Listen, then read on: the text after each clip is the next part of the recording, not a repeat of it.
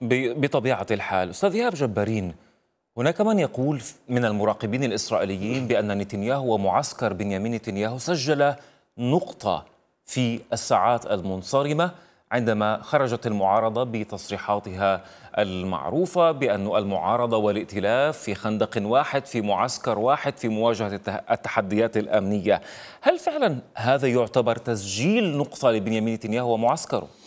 يتعلق من تسأل هذا بداية. يعني يجب القول هنا أن نأخذ هذا الأمر بعين الاعتبار أو النقطة الأولى. النقطة الثانية وهي الأهم أود أن هذا نوع من الدين ما بين أو, أو العرف بشكل أدق ما بين المعارضة والائتلاف الإسرائيلية في كل ما يتعلق مثل آه، آه، يعني آه، مثل هذا الوضع الأمني. على سبيل المثال في شهر أغسطس 2022 عندما لبيد وبنت قاموا بمجازفة في غزة وعدوان على غزة وعلى الجهاد الإسلامي تحديدا.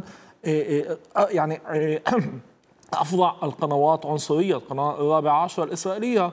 كانت تعطي والتي كانت ضد بدون أدنى شك ضد هذه الحكومة كانت تعطي السند والدعم الكامل لهذا لهذه الحكومة.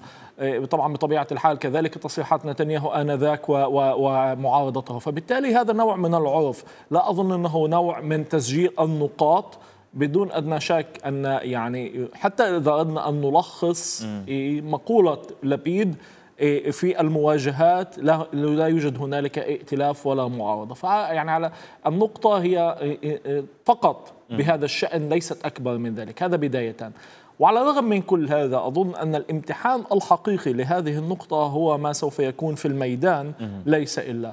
يعني إيه، لأن هنالك إيه، بعد ما بين مجريات المعارضة البرلمانية ورؤيتها واستراتيجيتها وبعد ما بين المعارضة في الميدان. نعم هنالك كثير من الأصوات المجرورة وراء المعارضة البرلمانية في داخل كل ما يجري بالميدان ولكن بدون أن نشك أن هنالك أصوات واضحة في في الشارع الإسرائيلي.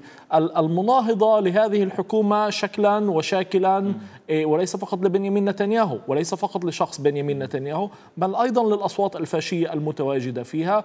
فبالتالي أظن أن يعني هي نقطة موضوعية ليست إلا ستختفي وتتلاشى بأقرب مفترق طرق.